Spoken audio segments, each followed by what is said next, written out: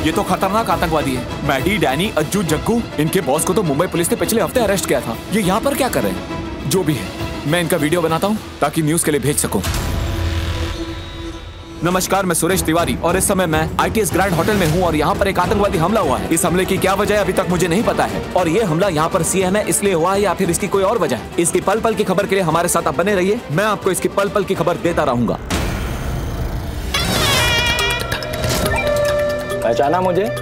Danny. नाम तो सुना होगा।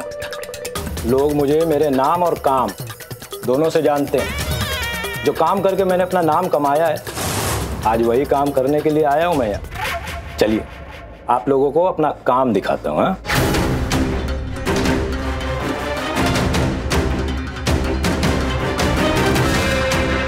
ये देखिए, ये सारे लोग जो इधर उधर भाग रहे हैं ना ये सब बेचारे अपनी जान बचाने के लिए भाग रहे क्योंकि अभी इन लोगों को हम हॉस्टेज बनाने वाले हैं।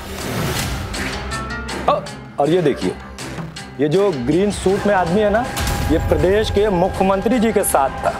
मुख्यमंत्री जी तो भाग गए अपनी जान बचाकर। इसकी वजह से।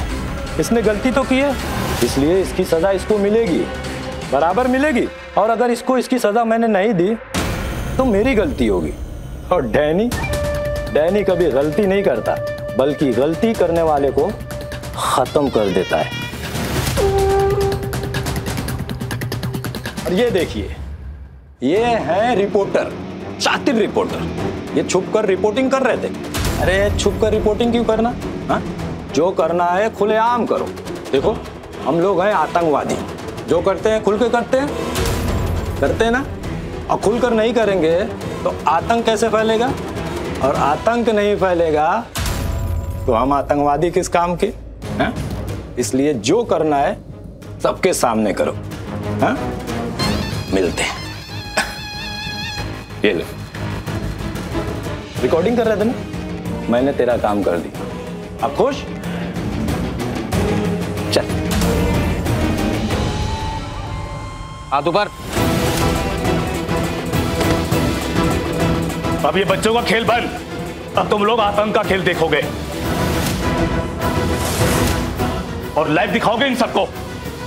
और सुन हमें लाइव पर फ़ीड करो। मुझे जनता से बात करनी है डायरेक्ट ए सुना नहीं भाई ने क्या कहा? लाइव मतलब टीवी पर लाइव दिखा। रिकॉर्ड तो करना चाहता हूँ लेकिन मेरे पास कैमरा नहीं है। वैन है बाहर। क्या क्या क्या?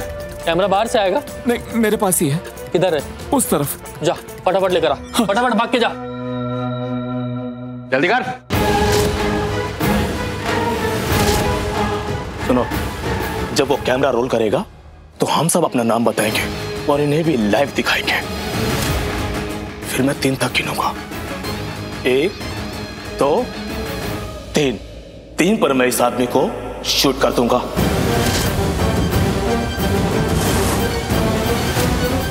पूरी दुनिया देखेगी इसे लाइव टीवी पर मरते हुए।